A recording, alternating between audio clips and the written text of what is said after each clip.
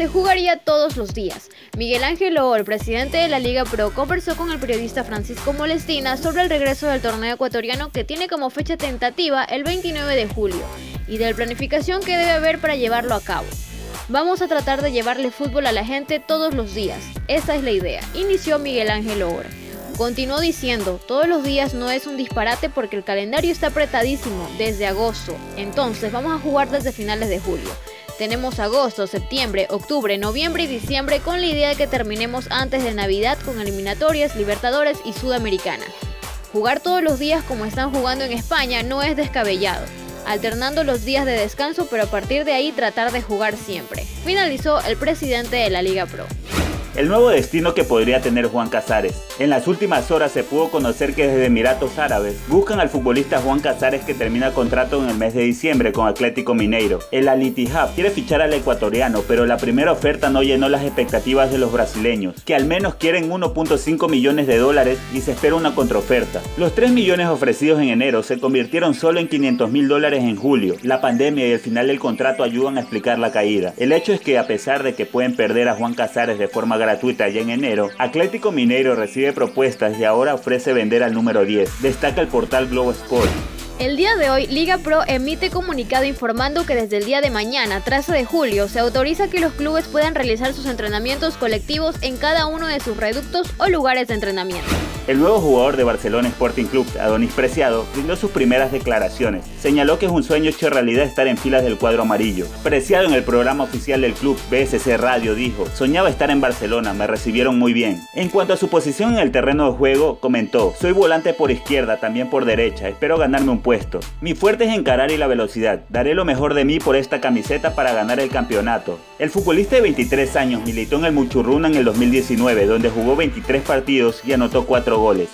Renato Ibarra debutó con Atlas de Guadalajara en el duelo ante Tigres, pero duró poco en la cancha, pues entró al minuto 64 y salió al 87 lesionado al taponear un disparo de Eduardo Vargas y debido a la fuerza del tiro lastimó a Renato en su pierna derecha, quien no pudo reponerse por lo que se prevé que la lesión puede ser grave.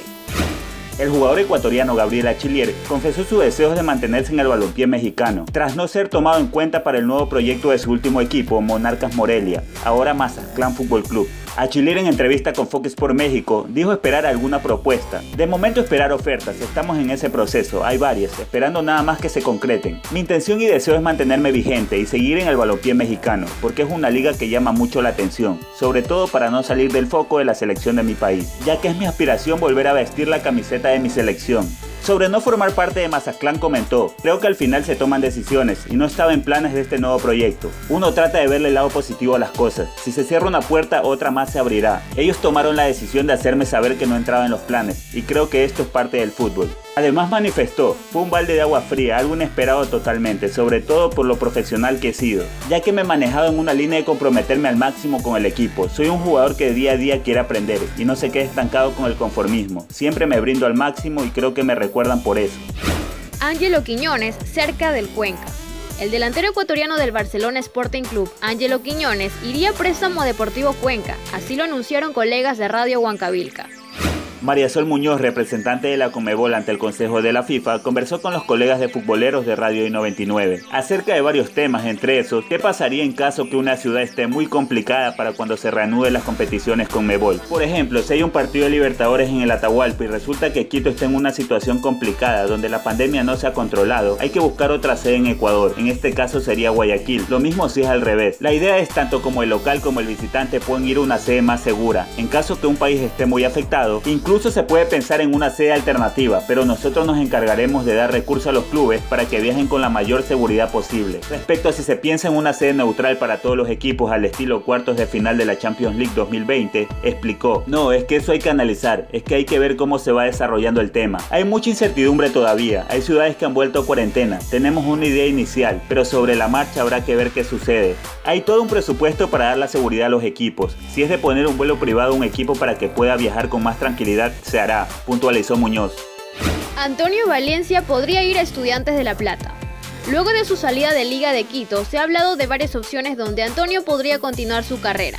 En los últimos días, Argentina ha sonado con más constancia. Boca y River han quedado descartados según medios reconocidos como TNT Sports e ESPN. Según la firma Legal Sports, que representa al Toño, Estudiantes de La Plata estaría interesado en fichar por el ecuatoriano. En los próximos días podría haber un pronunciamiento oficial.